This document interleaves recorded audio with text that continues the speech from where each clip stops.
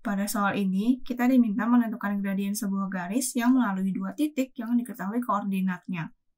Jadi, kalau diketahui dua titik koordinat yang dilalui garis itu, kita bisa menggunakan rumus M atau gradien sama dengan delta Y per delta X, yaitu selisih ordinat per selisih absis dari kedua titiknya.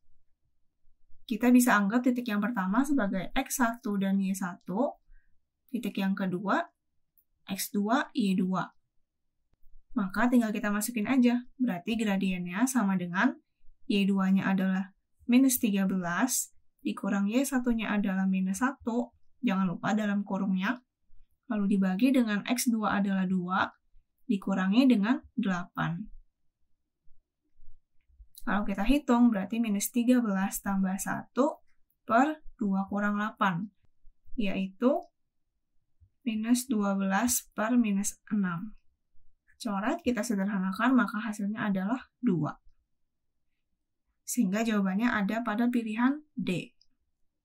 Sampai jumpa pada pembahasan berikutnya.